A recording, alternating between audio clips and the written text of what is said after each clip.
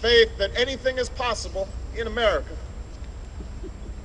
Rising before us stands a memorial to a man who led a small band of farmers and shopkeepers in revolution against the army of an empire, all for the sake of an idea. On the ground below is a tribute to a generation that withstood war and depression.